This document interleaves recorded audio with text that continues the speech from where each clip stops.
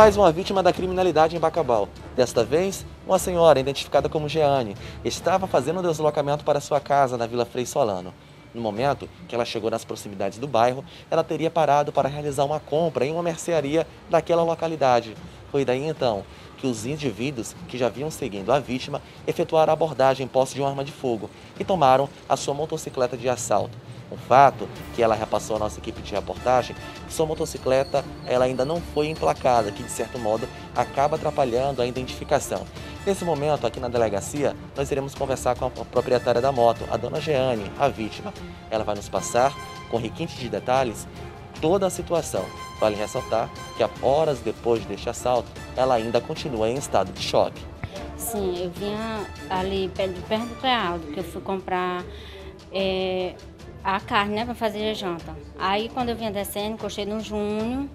Aí quando eu saí, que eu desci, cheguei perto do, do Francisco Vieira Lins, ali no, na frutaria Vale Verde. Aí eu dei, reduzi a velocidade e dei o sinal que ia entrar. Ele já vinha atrás de mim. E eu não vi.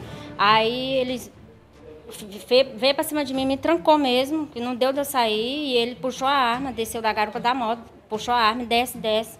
Aí a minha filha, mãe, é um assalto. Aí saiu me empurrando para dentro da casa da, da vizinha lá, da, onde eu parei, entende? Para me dar, para me fazer a culpa.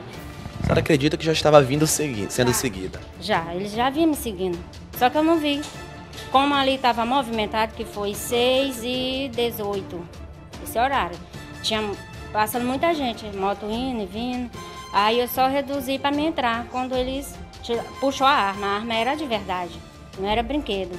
Aí botou em mim, desce, desce, e a minha filha saiu me puxando, e eles pegaram a moto ainda ligada e saíram ali pro José Lisboa. A senhora, no momento que eles efetuaram a abordagem, até então, o outro não tinha sacado a arma de fogo, a senhora já sabia que se tratava de um assalto? Ou foi só no momento que a sua filha gritou que era um assalto?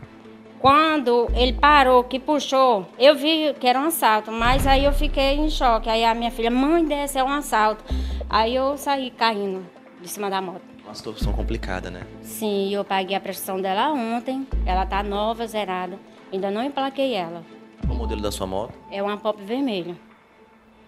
A senhora faz um apelo né, para a sociedade, dona Jane. Quem souber de alguma informação, senhora, o momento está aberto para a senhora deixar o seu telefone para contato, entrar em contato com as autoridades policiais em busca de alguma informação em relação ao paradeiro da sua moto. Sim, que, que alguém vê, eu já postei nas redes sociais, já tirei foto, deixei meu contato.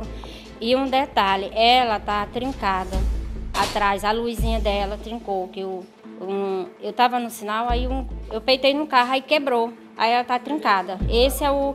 E aí em cima dela tá adesivado de preto. Esse é o detalhe dela. O telefone para contato? É 982 26 15 73. Aí quem vê, aí entrar em contato, ou então ligar para a polícia, avisar, porque ó, é um prejuízo muito grande. A gente luta para ter as coisas da gente, aí eles vêm e levam assim de boa. E aí eu ainda estou pagando ela.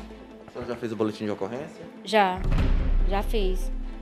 Olha só, Dona Jeane, ela procurou a Delegacia Regional de Bacabal para estar confeccionando seu boletim de ocorrência, né? Oficializando a denúncia no qual ela acabou sendo vítima deste assalto.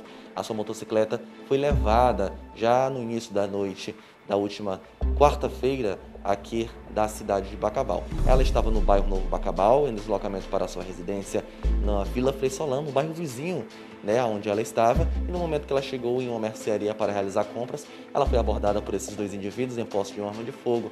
E nesse momento, está aqui, mostra que Eric Souza, uma mãe de família que está sofrendo, né, é, batalhou tanto para conquistar a sua motocicleta, o seu sonho e acabou tendo o seu sonho retirado por esses dois indivíduos. Portanto, você que souber de alguma informação, entre em contato com as autoridades policiais, entre em contato com a proprietária da moto através desse número que já aparece no rodapé do seu visor. A moto dela é uma motocicleta Pop 100 e o que acaba atrapalhando a identificação é que ela está sem placa. Portanto, você que souber de alguma informação, você pode entrar em contato para estar ajudando não só a dona Jeane, mas também toda a sua família.